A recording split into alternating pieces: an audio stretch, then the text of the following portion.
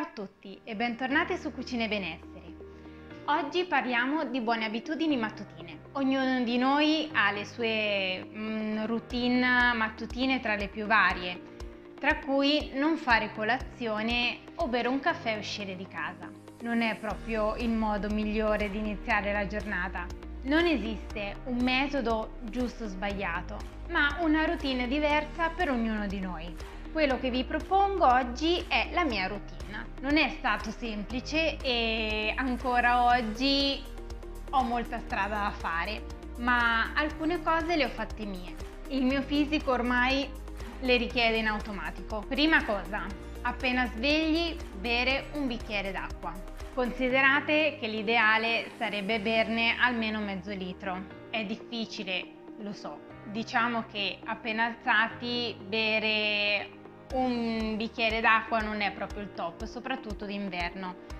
Per questo motivo d'inverno vi consiglio di scaldarla un pochino. All'inizio dovevo anch'io forzarmi, appena alzata, di bere un bicchiere d'acqua, mentre ora mi sveglio e ho sete, quindi in automatico mi alzo e devo assolutamente bere l'acqua. È molto importante bere appena alzati perché durante la notte non abbiamo bevuto mai logicamente e il nostro corpo si è disidratato. Inoltre ha tanti altri benefici come eliminare le tossine, aumentare il metabolismo, prevenire i calcoli renali e bruciori di stomaco. Dopo aver bevuto non mangio subito in modo che l'acqua possa operare al meglio. Quindi arriviamo al punto numero 2.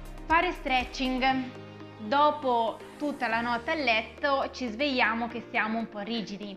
Magari non sembra. Quindi vi invito a provare a fare un po' di stretching e poi ne riparliamo. Io mi annoio a fare il solito stretching, quindi faccio una pratica yoga, il saluto al sole, iniziando però con un po' di stretching per il collo e la cervicale.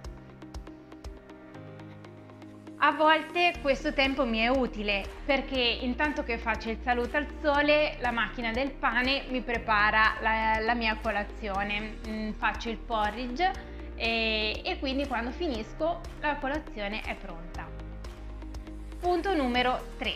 Fatto lo stretching, bevo ancora acqua e faccio le cose di casa oppure mi preparo con l'acqua che ancora lavora. Punto numero 4. Finalmente faccio colazione. Cosa mangiare a colazione? Qui bisogna evitare di mangiare quegli alimenti che fanno eh, alzare molto la glicemia. Ad esempio mangiare brioche e cappuccino è una colazione buonissima, però ci fa innalzare eh, l'indice glicemico, ma ci porta ad un picco glicemico. Cosa significa? Che dopo poco avremo di nuovo fame. Logicamente passare da una brioche a magari eh, una crema di riso è un saltone. Io l'ho fatto per step, anche perché dobbiamo evitare ehm, al nostro fisico degli shock. Se fino al giorno prima ci ingozzavamo di pastarelle, da un giorno all'altro smettiamo, il tuo fisico ti dirà ma che cippa stai facendo? Dove sono tutti quegli zuccheri che mi davi fino a ieri, maledetto? Una buona soluzione potrebbe essere quello che vi ho detto prima, il porridge, che rimane comunque un po' dolce e inoltre potete metterci dentro tutto quello che volete. Io lo faccio con il latte di riso integrale, ma potete utilizzare anche il latte di mandorla che è più dolce o il latte di avena. Potete aggiungere frutta secca, uva sultanina, la frutta di stagione, quindi proprio frutta fresca e per la vostra golosità potete anche metterci un pezzettino di cioccolato fondente che non guasta mai. Mangiare cibo a lento rilascio di zuccheri e quindi mm, mangiare fondamentalmente carboidrati eh, ti fa arrivare a merenda senza avere il buco allo stomaco e inoltre avrete sicuramente più energia. Provate per credere. La scusa classica per evitare di fare tutto questo alla mattina è non ho tempo, eh, perché la mattina sono sempre di corsa. Anche questo è stato uno dei grossi ostacoli che ho comunque dovuto affrontare perché a me piace dormire, stare nel letto, soprattutto d'inverno sopra, sotto le coperte. Come fare? Buona volontà ragazzi!